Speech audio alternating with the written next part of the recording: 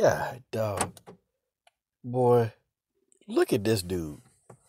Uh, uh, like, y'all, how, how do you not look at this face and just, like, not laugh?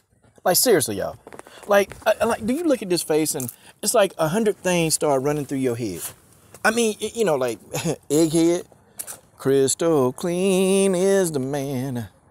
You know, shine that head up. I mean, I, I boy.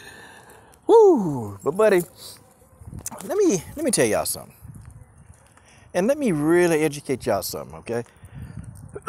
you got a lot of people running around here saying Dana White don't care about the racist comments and Dana White just letting these people say this.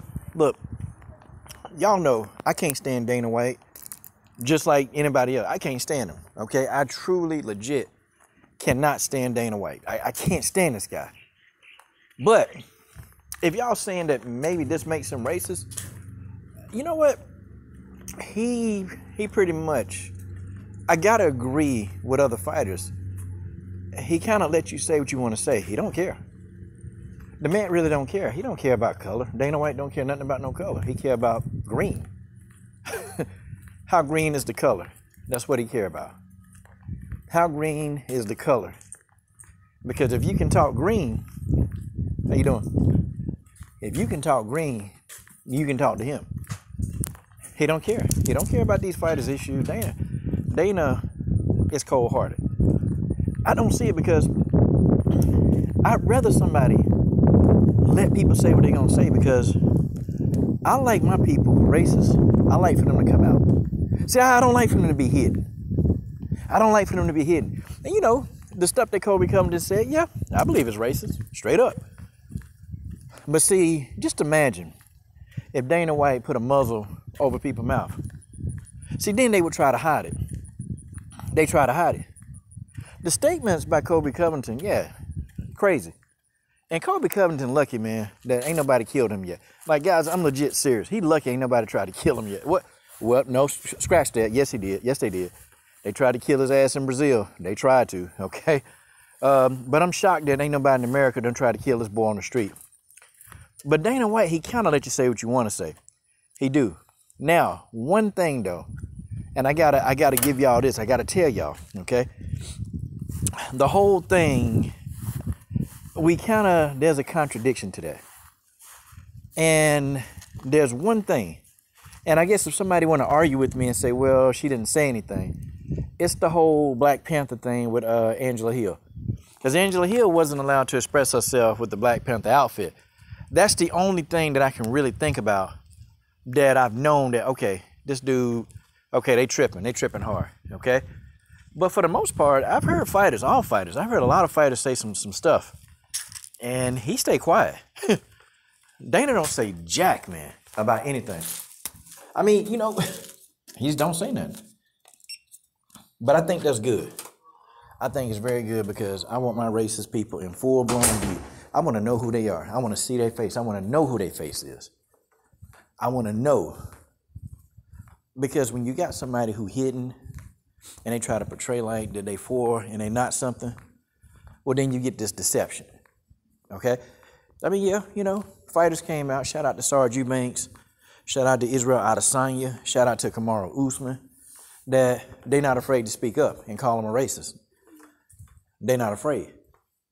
And I'm glad, I'm, I'm, I'm proud of them, man, for speaking up the way that they did. Okay? Because they could have been like some of the other fighters and not say nothing. And just be like, oh, well, I don't want it to affect my money.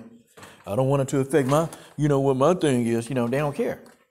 Sarge Eubanks came out. Sarge Eubanks was the first one to say something. She was the first one. And she put it out there.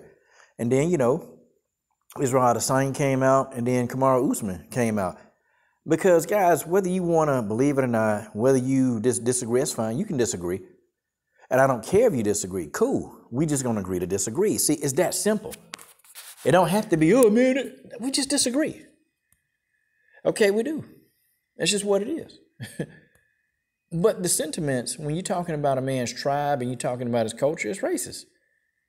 When you tell them go go send smoke signals from the tribe, that that y'all that shit is racist. Okay, I don't care how you slicing and dicing. And some of y'all probably think it's funny because you racist. It's cool. But Dana White not gonna say nothing. He not. I see how Kamaru Usman chooses to retaliate. Ooh, how he choose to retaliate. Now that, because I'm gonna tell you something, man. Kamaru Usman is playing it off real good. He playing it off. And I, I know I done I done got on Kamaru Usman a couple times for him, you know, begging Dana White for a payday and all this other mess. And I'm sitting here like, wait a minute, man, this is a Nigerian brother. Why is he begging? You know what? What the hell? You know, okay, I, have gotten past all that, but I do know Kamaru Usman. He's a very, very proud man. He's extremely proud, and I'm gonna tell y'all now, okay? Kamaru Usman is thinking about how he's going to hurt and dissect Colby Covington. Okay, this this is personal. Okay, Kamaru Usman tried to keep his composure, but Kamaru Usman is a straight up killer. Okay, and I think had the fight not have been stopped with him and Colby Covington, Kamaru Usman probably would have killed that dude for real. I mean, did y'all see like the final moments of the fight, man, where Kamaru was just beating him, man, and you can kind of tell that Kamaru became possessed, man. Like legit, man, that dude looked like he was possessed, and it's like he wasn't gonna stop beating him. He wasn't gonna stop beating him. I think the next time, man, I think he completely put Colby out for damn near two years. He put Colby out. Colby didn't get a paycheck for nine months. Okay, that ought to tell you. And Kamaru wasn't even like infuriated. Well, you could can you imagine getting him in there? Because let me tell you something about Africans. See, now I told I educated y'all on Brazilians. Let me tell you something about Africans. Okay, Africans they're very proud, especially when it comes to their to their like individual tribes. They take that seriously. See, those fighting words, those not even only those fighting words, those are words that you that you fight to die for.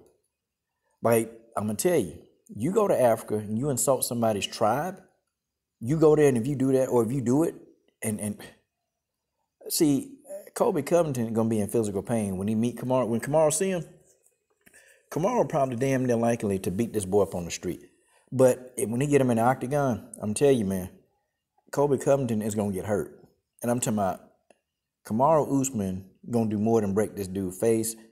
Kamaru Usman gonna put him out, and Colby Covington better be prepared, man. He better be prepared because Kamaru is that much of a better fighter than him. He's that much of another fighter. He gonna come in there, he gonna beat him down. Colby Covington, guys, he finna take a major L, so he can enjoy what he doing now. He can enjoy his little payday with uh, um, Jorge Masvidal. He can enjoy all of that. But when he see Usman again, y'all, this a wrap. This a wrap. This boy gonna be in a coma.